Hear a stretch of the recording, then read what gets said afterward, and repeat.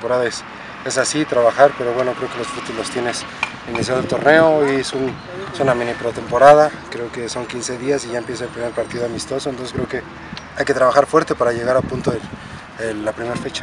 En lo que fue el torneo pasado, fuiste gente que estuvo repitiendo en el cuadro titular. ¿Te ves aún así? Digo, empieza todo esto también de cero. ¿Te ves aún así en esa parte o también pelear por ese lugar? Sí, creo que día a día eh, tienes que trabajar para tener...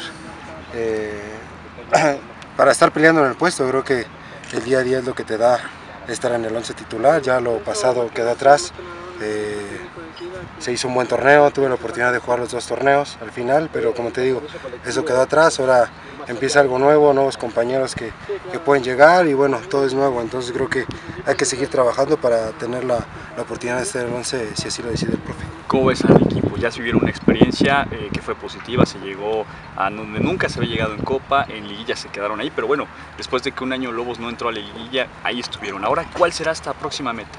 No, sabemos que, que la meta es ascender, creo que es un equipo que siempre está peleando los primeros lugares y no pasa nada si no ascendemos. Entonces creo que, como tú lo dices, ¿no? se hizo dos buenos torneos, tanto en Copa como en Liga, pero sabemos que el objetivo principal es ascender, vamos a trabajar muy fuerte para lograr el objetivo, creo que vamos por el camino correcto y bueno, esto es a base de, de proceso, se le dio continuidad y eso es importante.